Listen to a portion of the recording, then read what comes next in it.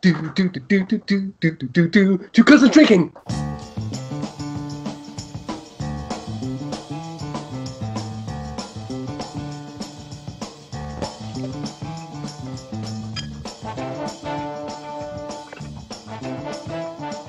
Beer snobs hate us. Find out why on Two Cousins Drinking. And today we're two cousins drinking Chimay Blue Grand Reserve. We are Not sure, why I indeed. say, not sure why I say Grand. Greg, are you as excited as I am? I am. I haven't had Chimay in a very long time. Over 20 years. I can't see through that. Nope.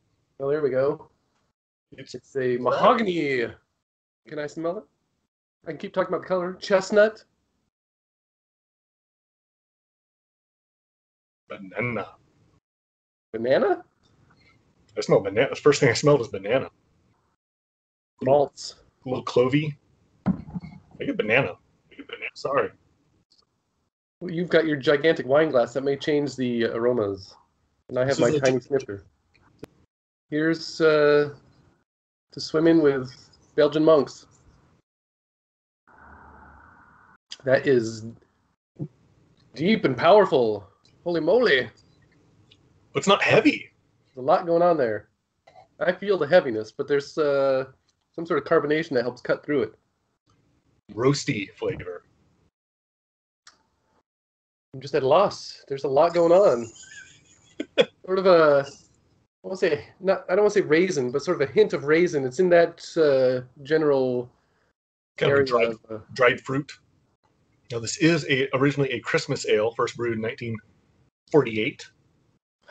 Stealing my thunder, but it was 1948 when it was first originally brewed, and then they began making it year round in 1954, It's the first beer we've had that they actually recommend aging. which explains why it's the first beer we've had that puts the year on the uh, cork. It is 9% ABV, which worries me, but it's delicious, so now I'm no longer worried. Due to that fact, we bought a single 750 milliliter bottle each, and we were split into three parts. Oh, this is dangerous. I think you're right. Uh, part of being a Trappist brewery means they don't they're not for profit, so the brewery exists on the grounds and they pay rent, and then all the additional profits go to the community. It's like I think in 2013 they had netted 50 million dollars. Chimay was the first uh, brewery to use the official Trappist ale designation on its labels. So they make the beer at the monastery, but it is transported to a bottling facility 12 kilometers away, where they can make 40,000 bottles an hour. I'm wondering if there's so at some point there's the weird uh, transferring from in my mind from like the 1400s where they come out with their shaved heads and then they pass it off to the modern world. How are you feeling about it? What are your numbers? I'm enjoying it. Uh, I'm enjoying it at 90, and I want another one, uh, 85. Oh, thought we were going to be uh, synchronous here. Uh, I'm enjoying it. I was going to say a 90, but uh, now I've had a few more seconds, so I'm going to say I'm enjoying it at 92. And I want another one, the 95. All right. Cheers to that. I'm not doing anything. It's on the blue family crest. Greg, it's come to this. Drink number two, Chimay Blue, Grand Reserve. 9% ABV.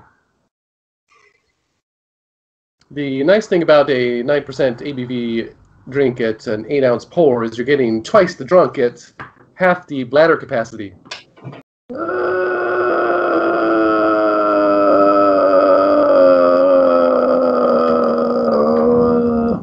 Uh, well, with their marketing, they Chimay does different colors for their different beers. This one is blue. Makes it simple. Simple, elegant. I mean, it's from a monastery. I don't want, I don't want uh, happy ending or something like that. They had for how long it's been around, how popular it is, how much of this sells. Surprisingly little about the brewery online. Like their Wikipedia page is just one page. I expected a rich, deep history and I'm guessing they are intertwined with the Illuminati. This, Greg, is a great beer because we've been drunkenly rambling for 20 minutes on many subjects.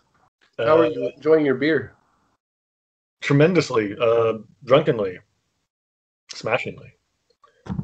Smashing, baby, yeah! Blue wants, wants us to drink more blue-based drinks. Is is the blue the uh, main uh, beer of Chimay? Is this the flagship? I think the red's the flagship.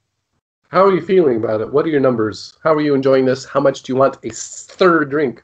I'm enjoying it a 90, and I want a third drink a 90. I've gone. I actually want it. I think we drank this faster and still wonderful, delightful, amazingly lightweight for nine percent and just drinkable.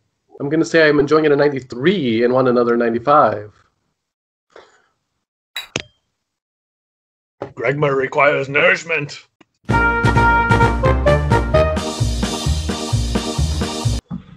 Ah, two cousins drink drink three. Drink three, Chimay Blue, Grand Reserve. We have both upgraded our vessels. Nine percent ABV. My brain is telling me. Blue himself was born at nine percent. Woo! So I let my uh, bottles sit out during drink two. And Still cold, but they're it's warmed up a little, and you're getting a little more of that complexity. Hmm, It's a thinking man's beer, Gregory. A thinking man's beer, and a thinking man is what I be. well, based on this beer, are you thinking about buying another one and storing it away for five years? I would think that. Yes. Missy, Cheers, Blue. Blue, get off camera. Incense and peppermints. Do do do do do do do do do do do do do. Two cousins drinking. If you brought this to a party, what type of impression do you give off? Ooh, you come off as quite studious, knowledgeable about beer. Nobody's gonna drink it. They're waiting for you to pour it for them. You tell the host, bring me uh five small glasses. Do you have Yeah. five Belgian ale glasses ready, sir? And then when they say they don't have enough glasses, you roll your eyes. It's just a win-win for you. You look cool. You get to be a snob. And still, you're the hero of the day, pouring the fancy beer for everyone. I mean, this you outshine the host of the party. Oh, that's great food that the host made. Here, try it with my fancy beer. How many of these would you? How much? How much of this would you drink to impress Tina Turner? Two bottles. After 600 milliliters, what do you want to do? Play backgammon with Alf.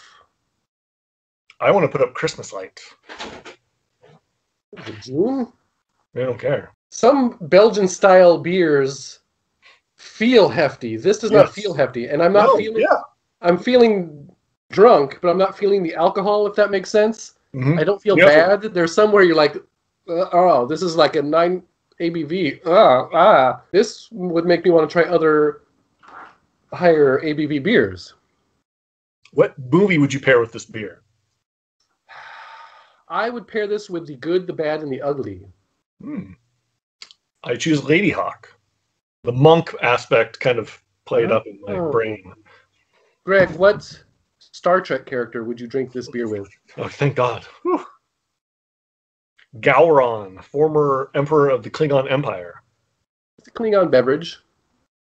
I'm a little shocked that you immediately came up with a random Klingon's name without even random. trying. What kind of drunk does this make you? This beer makes me Listen feel me. like I'm intelligent, yet I'm clearly intoxicated. I think it would make me quite entertaining at festivities. We're at the end of drink three. Giveth thy numbers, I'm John. still enjoying it greatly.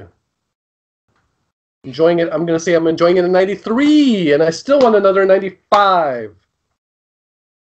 Greg, I'm en- enjoying it at 90, and I want another at 95. Top notch beer. This has been Chimay Blue. I've enjoyed it. How about you? I've enjoyed it. How about you? Here's to us, Greg.